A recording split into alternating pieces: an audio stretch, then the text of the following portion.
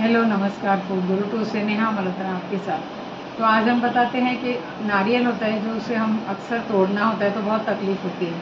उसे तोड़ते हैं और उसे अंदर से उसका पल्प निकालते हैं तो कई बार नाइफ हाथ पे लग जाती है। काफ़ी हार्ड होता है।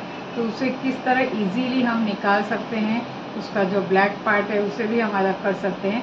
तो ये हम आपको बताएँगे आज की वीडियो में। हमने गैस को ऑन कर दिया है कुकर चढ़ा दिया है। अब इसमें करीबन दो ग्लास जितना, दो बड़े ग्लास जितना पानी डाल दीजिए। इतना पानी हो गया जिसमें हमारा नारियल आराम से टूट जाए। तो इस तरह से हमने ये नारियल लिया आप देख सकते हैं। तो इसे हम ये पानी में इस तरह छोड़ देंगे। देखिए, अब इसमें आपने देखा नारियल पानी में पूरी तरह ये हो रहा है, डूब रहा है। बस, आप चाहे तो थोड़ा और ऊपर तक पानी डाल दीजिए, वरना इतना पानी सफिशेंट है।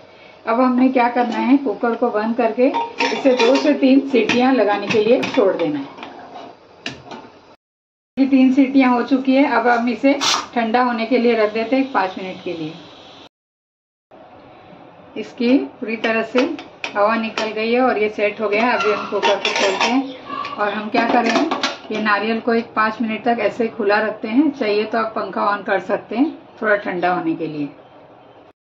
देखिए, ये ठंडा हो चुका है पानी भी, अब हम इसे निकालते हैं बाहर। अब आप देखिए, ये ऑलरेडी क्रैक हो चुका है। देखिए, निकल चुका है। अब इसे हम एक हैमर के साथ हल्का सा यहाँ से तोड़ के इसे अलग कर देते हैं। देखिए, इसके साथ हमने इसे तोड़ के इस तरह से बड़ी आसानी से अलग कर लिया है। अब हम इसे पूरा निकालते हैं और इसका छिलका भी बड़ी आसानी से निकल जाएगा, आपको हम दिखाते हैं। देखिए, नारियल का जो छिलका है, वो भी साथ साथ उतर गया है और जो थोड़ा बहुत बच गया है, उसे हम नाइफ द्वारा, छुरी के द्वारा निकाल सकते हैं और फिर इसे हम कद्दूकस कर लेंगे। बिल्कुल सफ़ेद सफ़ेद इसका निकलेगा।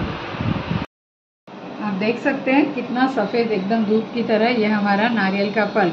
जो जिस नारियल पे को हमने बॉईल किया था, छिलका निकाल के फिर कद्दूकस किया था, आप देख सकते हैं कितना बढ़िया एकदम सफ़ेद निकल आया। अब इसके द्वारा आप मोदक बना सकते हैं या किसी तरह की मिठाई है, लड्डू है, उसमें यूज़ कर सकते हैं।